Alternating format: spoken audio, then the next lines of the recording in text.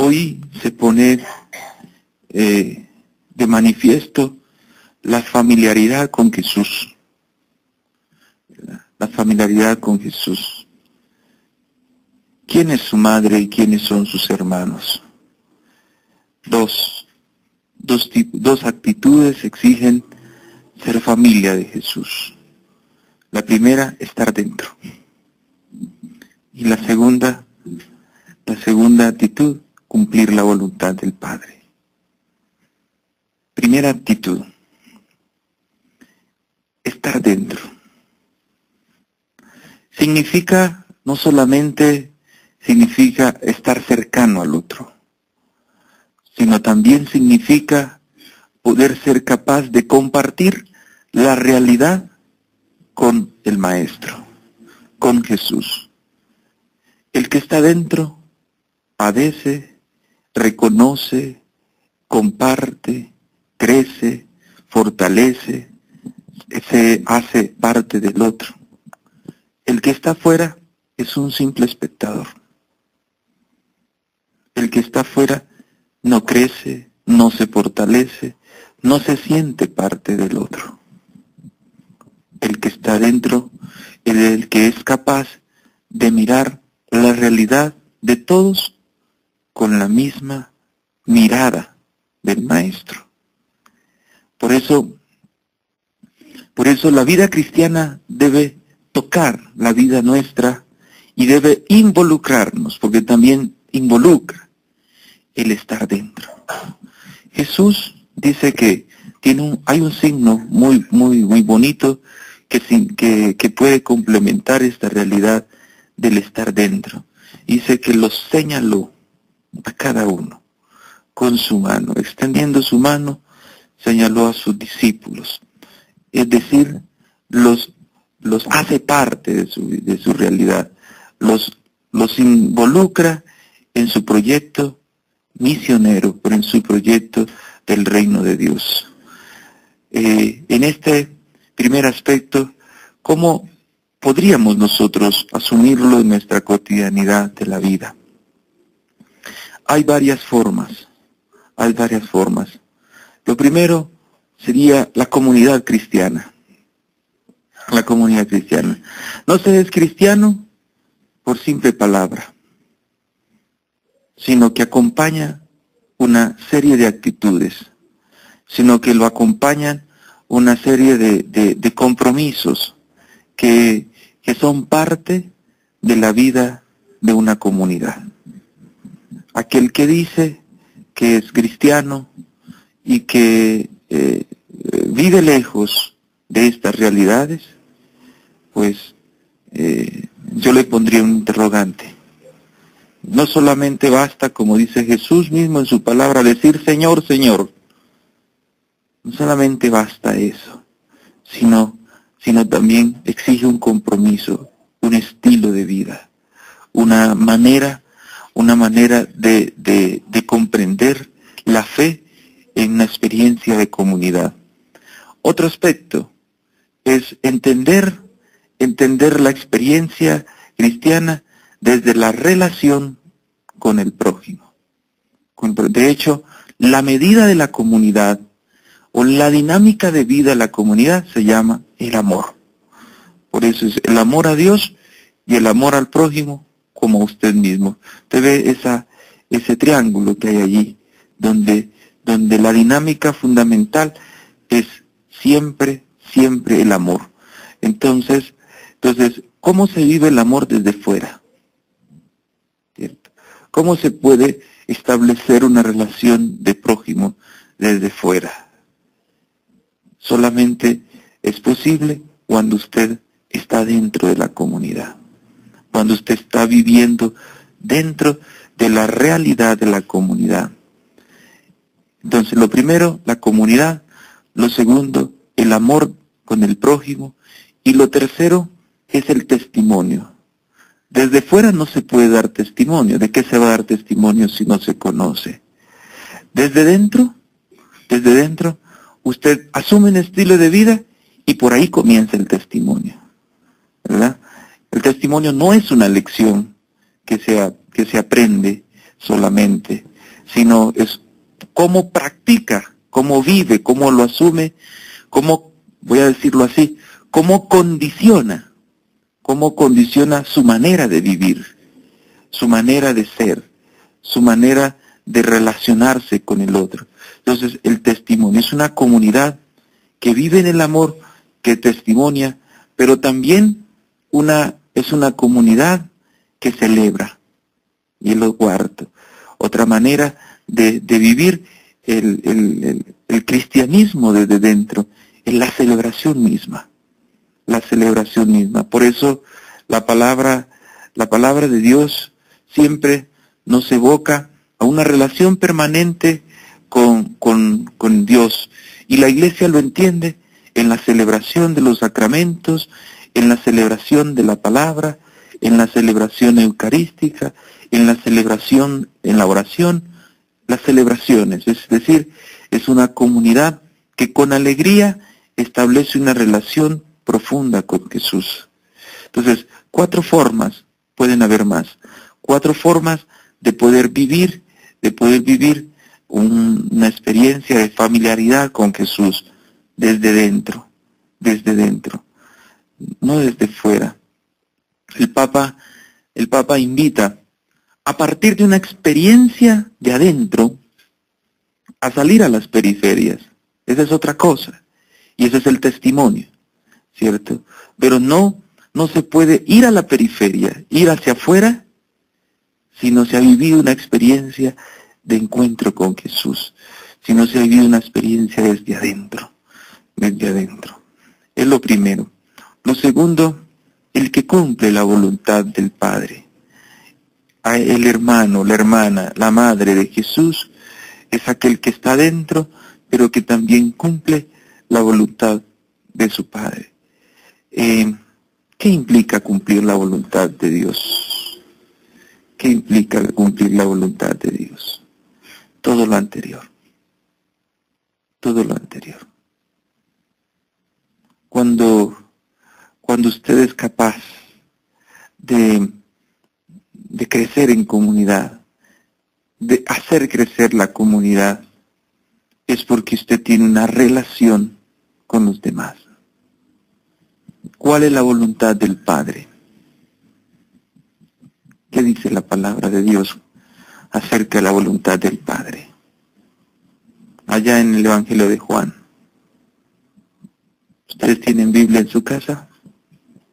La ley, no. Dice dos cosas es la voluntad del Padre.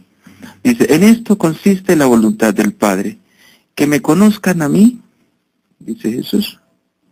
Y después dice, y que conozcan al que me ha enviado. ¿Y qué es conocer para Juan? Para Juan, conocer es, ¿qué dijeron por acá? El amor. Para Juan, conocer a Jesús es amarlo. Amarlo profundamente. Y ese amor se traduce en la medida en que usted se vuelva discípulo de Jesús. Discípula de Jesús. Por eso, por eso, este, bueno, aparte de, hacerle la promoción de, de leer la Biblia, ¿verdad? Este, conocer la voluntad del Padre significa precisamente eso una experiencia amorosa con Jesús entre usted y Él. Lo conoce en la medida que lo ama. En la medida que lo ama. Pero ese amor se traduce no porque esté pegado a Jesús, sino porque esté en una permanente, en un permanente seguimiento de Jesús. Seguimiento de Jesús. Lo que ustedes hacen en la Eucaristía, en los grupos de oración, en su oración, es una manera de vivir el amor con Jesús desde el seguimiento del discípulo. Por eso, no es que usted se case, no es que, ah, es que la voluntad de Dios, no es que usted, ¿por qué, ¿por qué usted tiene problema? Ah, porque es la voluntad de Dios. Esa es la voluntad, no. La voluntad de Dios es que usted sufra.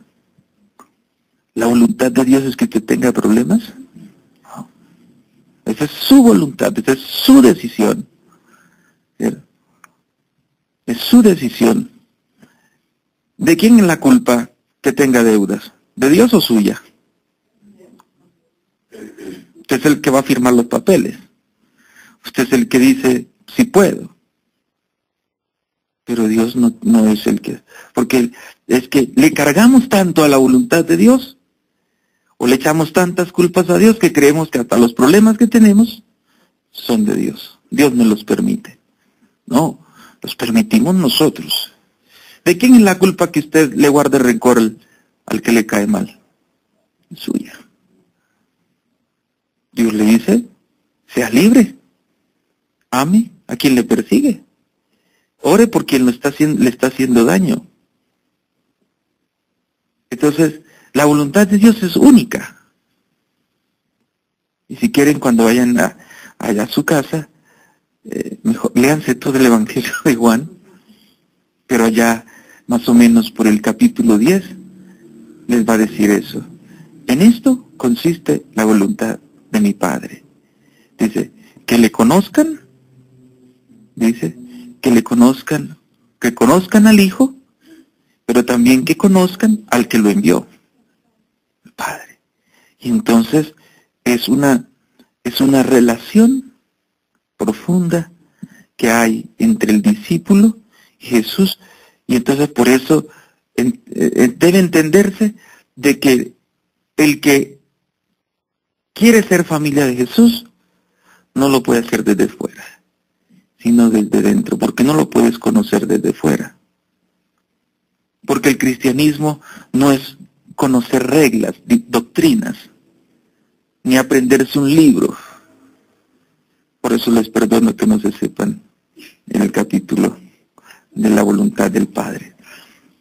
Este eh, no es aprenderse un libro, sino una relación con alguien, con Jesús. Dice, Benedicto XVI, decía, decía Benedicto XVI, eh, eh, la vida cristiana, la vida cristiana no consiste en seguir ideologías, nosotros no conocimos una ideología, no es una ideología. Inicia por un encuentro personal con Jesús. Seguimos a una persona, Jesucristo.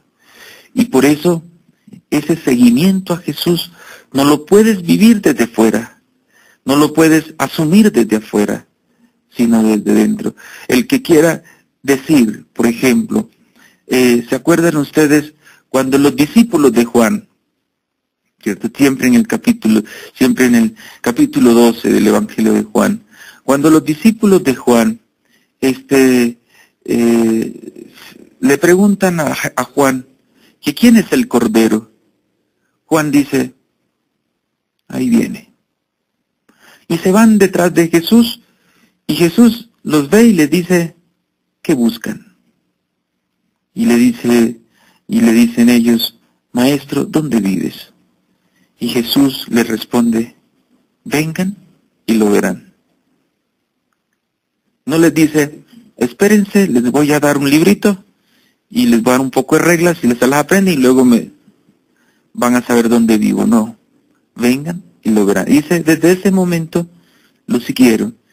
Y más adelante se encuentra, se encuentra eh, este, eh, Andrés se encuentra con, con, con Felipe y le dice, hemos encontrado al Mesías. Y, y Felipe le dice, eh, ¿quién es? Jesús de Nazaret. Y entonces le dice, ¿puede salir algo acaso? ¿Algo bueno puede salir de Nazaret? Y eso pasa a Jesús y Jesús lo llama y le dice, Jesús hace un elogio de, Felipe y le dice, este sí es un buen israelita. Y entonces Felipe le dice, Señor, tú eres el Cordero. Y le dice, ¿crees que por qué? Y le dice, ¿por qué dices eso de mí? Y le dice, porque desde que te vi debajo de la higuera, pues, y entonces, eh, Señor, Señor. Y Jesús le dice, y solo, ¿crees que porque te di debajo de la higuera, dichosos, dice, porque verán más cosas grandes? Entonces, yo creo que, que, es una experiencia de contacto, es una experiencia profunda de, sintonía con Jesús, que solamente es capaz de vivirse en, en, la existencia, si en ese tema de, de, el amor no puede ser cibernético. Pregúntele a los que se han enamorado por Facebook, cómo les ha ido. ¿Mm? Pregúntele a los que a los que viven una experiencia de amor de lejos. ¿Cierto?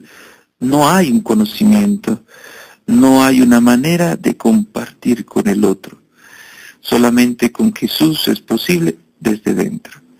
Por eso, la voluntad del Padre, la voluntad del Padre es posible cumplirla cuando somos capaces de vivir la experiencia cristiana adentro. Eso no nos hace excluyentes con los demás lo que hay que hacer es que esta riqueza que se vive desde dentro, hay que multiplicarla. Por eso yo les digo a los, mm, a los, a los, a los católicos, los que somos católicos, que debemos de vivir con alegría la experiencia comunitaria, experiencia eclesial. Pero uno va a ciertas parroquias y es triste, triste ver católicos tristes. Pareciera que están sometidos ahí. Pareciera que están castigados. En el nombre del Padre, del Hijo, del Espíritu Santo. Y la viejita que esté despierta la que contesta. Amén. Y hay 200 personas allá.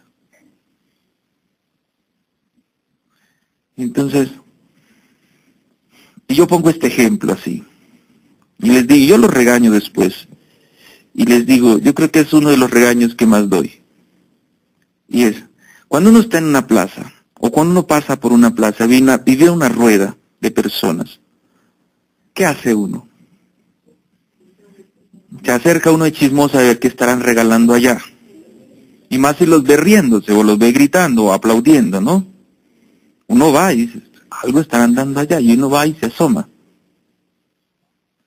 Y entonces y si a uno le gusta lo que están dando ahí o lo que está pasando, se queda. Lo mismo sucede en la vida cristiana. Si nos ven que cantamos con alegría, si nos ven que respondemos con alegría, si nos ven que oramos con gritos, que así dice, bueno, digo que no sea exagerado, ¿no? Pero que, que por lo menos respondemos bien, con ganas, con alegría. Más de alguno que ande pasando por allá dicen, ya están dando algo bueno. Y se meten y entran. Pero si nos ven allá,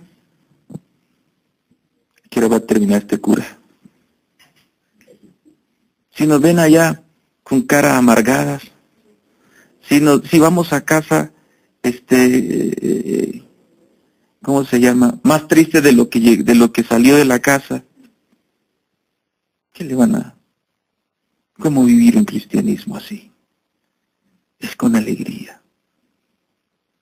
Y entonces uno ve jóvenes dentro de la iglesia, más ancianos que los que, que los ancianos que llegan. Es cansados, dormidos. Y entonces, y no es culpa de ustedes, a veces es culpa nuestra, los curas, donde, donde no somos capaces de darle vigor a la Eucaristía, de darle sentido a, a lo que celebramos. Y a veces eh, eh, le gastamos más tiempo al regaño que a motivar a la persona, que a sentarnos a escuchar a la persona qué quiere, qué, qué, necesitas. El otro día estaba en X lugar y, y llegó, llegaron dos personas muy jóvenes, pareja y, dice, ¿hay confesiones? Y le dijo, tienes que llamar a este número, pedir la agenda y entre te confirman la confesión entre 15 a un mes. 15 días, un mes. Y alguien que andaba conmigo ahí jocosamente dijo, bueno, tienes un mes para seguir pecando.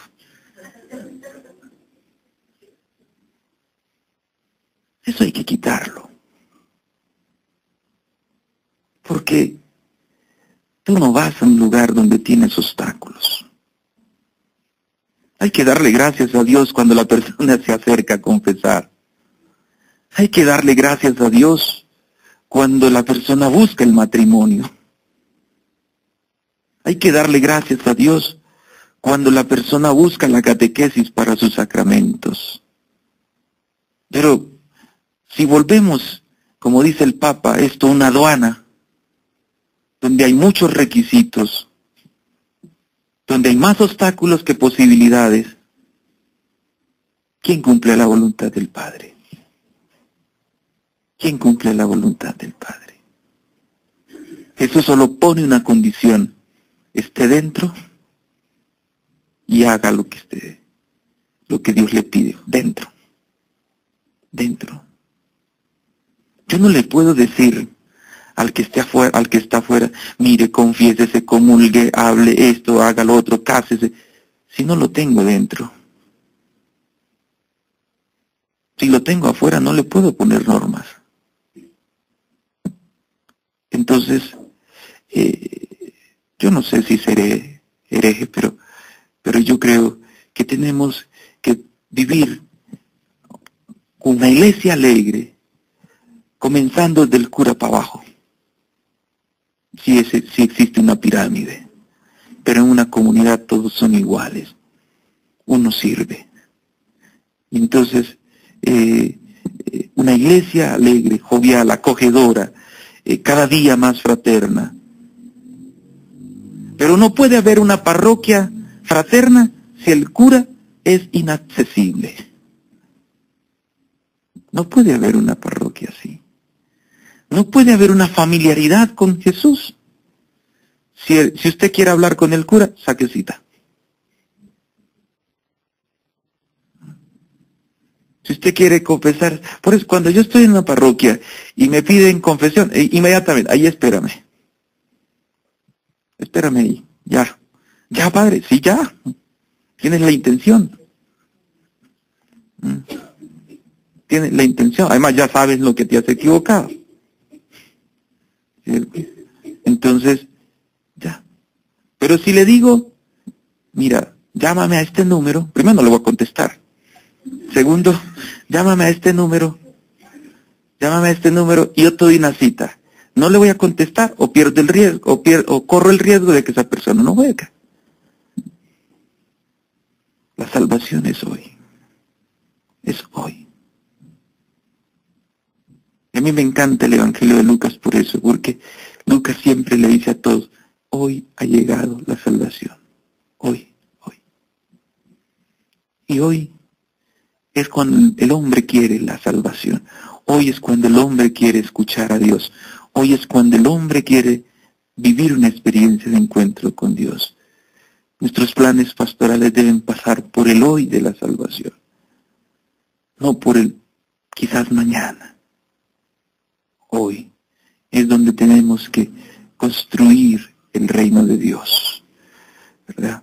Es hoy cuando debemos nosotros abrirnos a esa experiencia de encuentro con Jesús y pedirle a Dios que nos ayude a hacer de esto siempre, siempre eh, eh, una experiencia familiar, familia, con Jesús, familia. Usted ama a su familia por lo que vive dentro de su familia. Cuando en su familia hay rechazo, hay otras cosas, usted no los visita. Es familia con Dios y esa es la, la, gran, la gran novedad de Jesús, es entender la relación con Dios como familia, es tu papá, le dice a Israel.